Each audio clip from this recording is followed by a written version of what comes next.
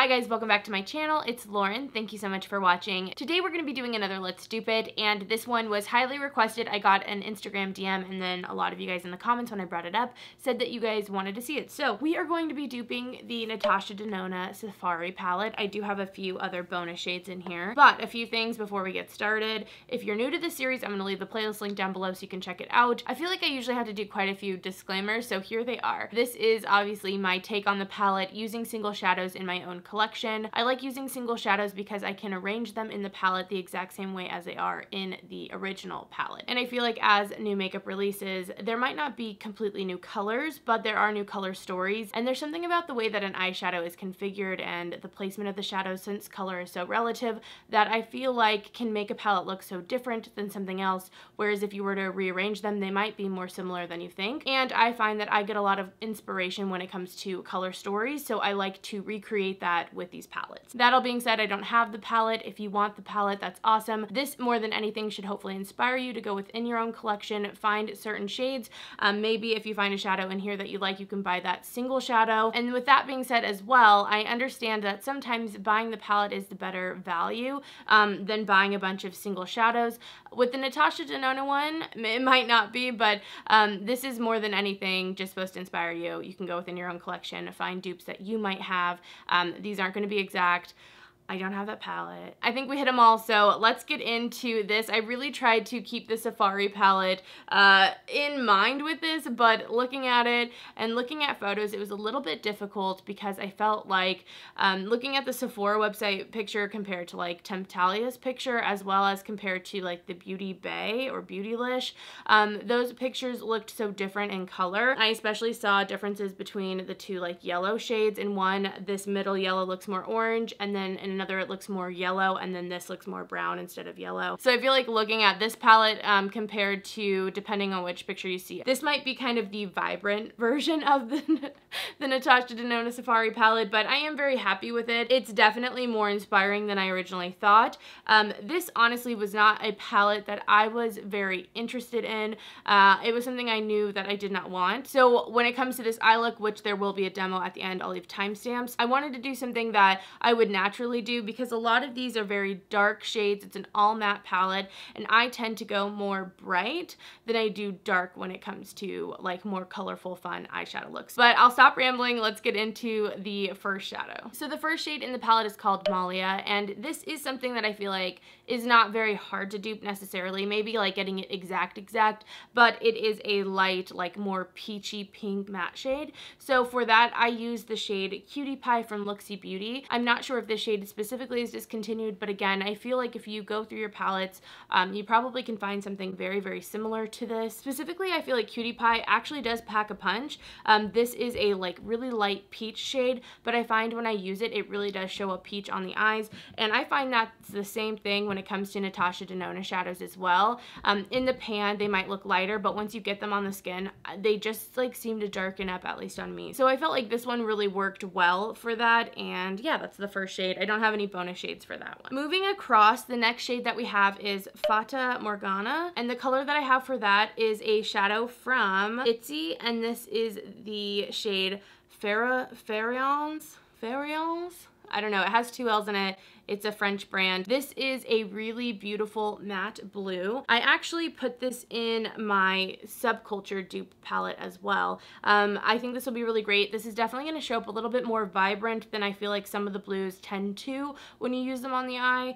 Um, so I thought this was a great addition and it's super matte and it's a really good quality matte blue. I thought that was like one of the better dupes that I had. Next is the shade Rhino and this one was difficult for me. I think this is a very interesting color. I really like the name Rhino. It's kind kind of this gray, green, blue shade is how I look at it. The closest thing I had was Pinehurst. This is definitely going more toward the green side as in it's green. but this is like a matte dark green and I thought that this just complemented the palette well with other colors and this is one of those shades that kind of gives my specific palette more of that uh, brightness and pop of color and this one is from Coastal Scents. So it's very affordable. Um, it is Coastal Scents though so you're not going to get Natasha Denona quality from this but I do think that this shadow is great. I really enjoy the shadows from Coastal Scents. If you're balling on a budget I think they work really well. The next shade in the palette is called Stone and this is a light gray. I chose to go with Makeup Geek's Bedrock for this. I honestly don't have a lot of gray shadows. Gray is not a color I normally gravitate to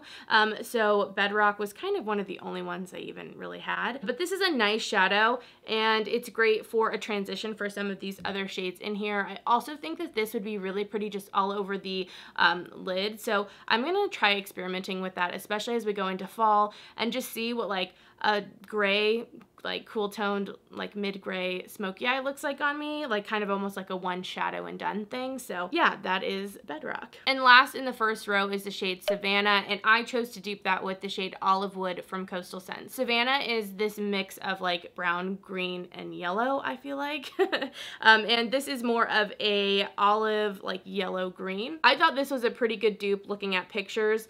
Uh, if you're looking for a matte olive i think this one is very very nice. Again coastal scents so you can really get some bang for your buck on that one. And honestly, I think this first row would make such a pretty eye. I think a lot of the shades in here would work really well across um, for color stories if you're looking for inspiration on how to use them uh, in a cohesive look. The next shade in the palette is Aya, and I chose to dupe it with ColourPop's Issues. I think this also might be discontinued. I hate that they do that, and I know I'm sorry if you were looking for like specific shadows, um, but I like putting in my discontinued or limited edition stuff, stuff that I still have in my collection because I'm assuming that someone else out there bought it at one point. I can't be the only one that bought it, so if you have issues, I got issues. I like set myself up for that one, didn't I? This one might be a good one. It is a soft peach shade. You also could do something like, I think, is it Beaches and Cream from Makeup Geek or something like that. This one is a bit more of like a warm toned peachy uh, instead of like a more cool toned pinky peach from the first one. Use whatever you have in your collection. There are a lot of things. Orange Soda from Anastasia is another good one. So that's just what I chose for this. Next in the palette is the shade Thorn, and this is one that I think is really beautiful, and I also feel like at the same time is probably the most dupable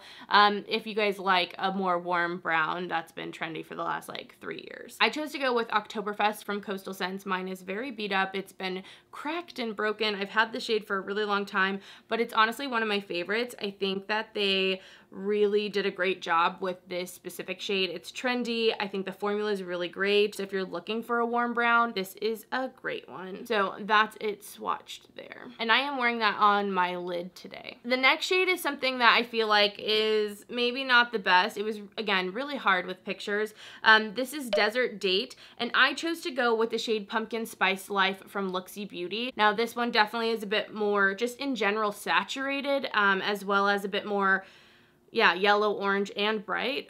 but I think this is beautiful. I'm wearing this today. I put it all over my lid and then put the uh, Oktoberfest shade on top of it. It's just beautiful. It screams fall to me, and I feel like this palette is very fall. So if you're looking for a bit more of an amped up version, you're wanting kind of one of those orangey mustard shades, this one's great. The next color in the palette is very similar to Thorn, but this is Shea. It's slightly darker and slightly less warm. I decided to go with a shade from Ittse again. This is the shade Chocolate, and it is a nice, really saturated brown. This doesn't have that much warmth to it, and I think it will really help to deepen up any looks in this palette, in my palette specifically. It's quite chocolatey in nature. I really like this one, and I love that it's not too warm, so it can kind of play with some of those more gray shades as well. And last for this row, we have the shade Tribe. Now, when I was first looking at this, I thought this color was pretty dang good, but this one seems maybe a little bit more orange, and I feel like swatched, this also looks a lot different than it does in the pan. This is from Coastal Scents. It's the shade Baked Clay, and this is a red, but I find that it kind of, it's just way brighter um, than I guess I expect. And it almost has like this pinky undertone. There's not as much orange to it as I would like and also not necessarily as much depth, but I think that it still looks good in the palette. You could use this all over the lid. You would definitely need to build it up. This isn't necessarily my favorite shadow from Coastal Scents. It's not the worst, but you definitely need to build it up. It would work well to kind of like sheer out something or add some warmth when you're blending out. You could build it up though if you really wanted to. And I do have a bonus shadow actually for Tribe or what I have is Baked Clay. This is Cannonball from ColourPop and it's just basically like a traditional orange. So if you're looking for something more like that, this is a great color. I believe it's one of their pressed pigments. That is if you want more of an orange or just like another option. We're moving on to the last row already. The first shade in the last row is called Lotus. This is a really beautiful pink color and I decided to go with ColourPop's Flower Boy. I feel like Flower Boy shows up in so many of these Let's Dupe Its. Um, I believe it is discontinued, but I do have a couple other options. Hopefully those are at least available. This is a corally pink, and this one is brighter and a bit more saturated than the one in the palette, but I honestly feel like potentially that one is more pigmented and bright than you expect once you get it on your eyes. I went with Flower Boy as my official pick. But for some runner-ups, I have First Kiss here from Looxi Beauty. This is, I mean, very similar. This shade is a little bit different than other Looxi Beauty. I actually put it on top. Um, this is a bit more sheer, but I think it works well and would work well for Lotus. And then if you want a Makeup Geek option, this one is the shade Cupcake, and it's a bit more cool toned and like dusty mauve. So uh, it's definitely different than the other two, but it was something similar, so I wanted to bring it up and show you guys. The next shade in the palette is called Amara, and this is a really beautiful um, rusty coral with a, like a softness to it. I decided to go with the shade Terracotta, so again, I think this is a bit more pigmented, but I just, I love this. I think it works really well with the rest of the palette. You could do something very similar with this in like baked clay and do more of like a monochromatic look, or you can use this like deepen up a shade of something else. I really love this shadow specifically from Looxi as well, so that one's a really great one, and I feel like it's a perfect perfect like fall orangey brown staple. So the next shade in here, um, forgive me if I say this wrong, I think it's Masai, maybe? For that color, I decided to go with Going Steady from ColourPop. This is a beautiful like burgundy maroon. It has more of like a purple to it than it does a red. This is just a great shade. I honestly really enjoy this color. This one ends up in a lot of my uh, Let's Dupe Its as well. So that one's great. I love the ColourPop formula too. I haven't mentioned that, but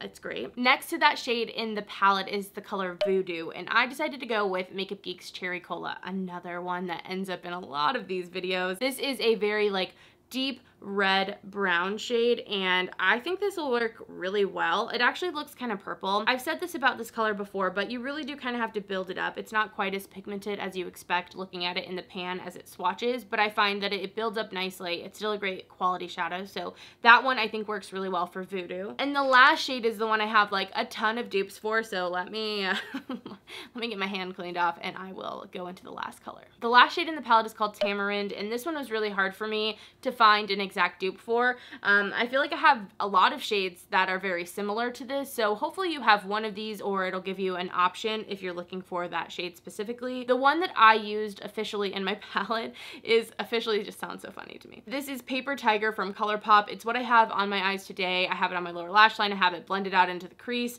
Uh, I think this is a great like mustardy kind of like Dijon mustard yellow shade. It has some brown in it. Um, it has a little bit of green in it as well. Really beautiful. So I highly suggest that color. It's great. It's easy to get a hold of as well. When looking at this palette, I also immediately thought of Desert Sands from Makeup Geek. This is one of those shades that got a lot of hype um, when, you know, it first came out. This one's definitely more brown and not as yellow. So if you're looking for something like that, um, it's beautiful. And it's one of those shades that really brings out blue eyes. So I highly suggest that color as well. Another shade is Honey Bun from from Looxi. I believe this one was limited edition. I don't know if you can still get it. So if you can't, you know, don't worry about it. You have some other options. But if you have it, this one is a really great option as well. And I did have one other shade here. This is Beach Blanket from uh, ColourPop. And this one is just like a bit more orange and I don't know. It's different than Paper Tiger for sure. It doesn't have as much yellow. I put it on the top there. So um, if you guys were interested, I'm not sure if that color is also available. I know it was part of like the summertime releases like last year, I think. Okay, so I hope you guys enjoyed those dupes. I don't know how exact they were, but definitely this palette, at least my version of it, inspires me more than I thought it would. But even looking at my version, to me, personally and how I like to do makeup, this is more of a companion palette. So definitely keep that in mind. Um, I would really look hard at this palette what do you want from it, what really stands out, and see if you have something very similar to that in your collection already. $129 is not something that is easily stomachable for a lot of people, so if you're gonna spend the money, I wanna make sure that it's something you're really gonna love and use, and if you feel like it's right for you, I want you to go for it and enjoy it and love it and use it all the time. But if not, and there's only a couple colors, maybe you could find something you already have. Looking at this, I feel like the Subculture palette, if that worked for you, is very similar to this in a lot of ways. It has those matte greens, it has those matte blues, has the yellow, has the orange, has a lot of the colors that I use to dupe that palette in here. So that would be something to look at. I would take a look at that if that formula worked for you and see if you can get away with just returning back to that subculture palette. That all being said, if you guys want to see how I did this look today, um, stay tuned for the demo. Other than that, thank you guys so much for watching. I hope you guys enjoyed the Let's It and let's get into the demo. All right guys, so let's get started on this look using my faux Natasha Denona Safari palette. To start off everything, I'm gonna go in with this shade here and I'm just going to be lying down or laying down a base um, on my whole lid. So this look today is going to be very fall. I really want to accentuate like the mustard like warm browns. I don't think that's that different I guess compared to potentially other palettes or other shadows and stuff out there but when I look at this palette that's what I want to do with it and so I'm to make the look I'm inspired to create using these shades. So I'm to roughly dust that everywhere on my lid and into my crease. So that gave me kind of a light creamsicle kind of look. I'm going to go in now with this color here. I believe it's Paper Tiger from ColourPop. And I'm just going to be working this into the crease. I want that um, like orangey yellow to be pretty blown out. So I'm just going to be working it pretty high and I'm going to be taking it into that inner corner just as much as I am the outer. Uh, this is a bit more of like a rounded eye, like a rounded smoky mustard eyes kind of the vibe we're going for. I think because this palette is all mattes, it's a great like companion palette. I usually don't do all matte looks, especially in these colors. So for me, I wanted to create an eye that I could use all mattes with that I would naturally do. Uh, and I feel like this kind of I think people have called it like a French smoky eye, um, where you have it like darkest on your lid and you kind of gradiate up. That is kind of the best way to use um, all mattes to me if you're going to go with something.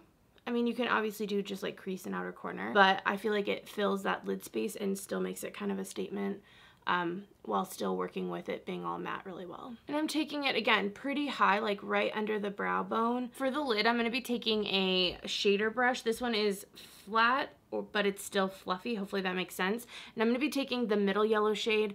This is a lot more uh, yellow and a little bit darker and we're going to be placing that all on the entire lid. Now that I have that worked onto the lid, I'm going to be taking that shade and a blending brush and I'm just going to start blending that into the crease uh, and just getting a nice gradient between those two colors and I might go back and forth between the original like yellow shade we used and that a bit more I guess orangey shade. And I really like the way that's going, but next I'm going to be adding even a darker shade onto the lid. I'm going to go in with this shade here from Coastal Scents. I believe it's Oktoberfest. And we're going to be putting that on the very base of the lid. This is going to be the darkest color we're going to use. If you wanted to, you could always go in with this even darker shade and make a gradient between all four of those colors.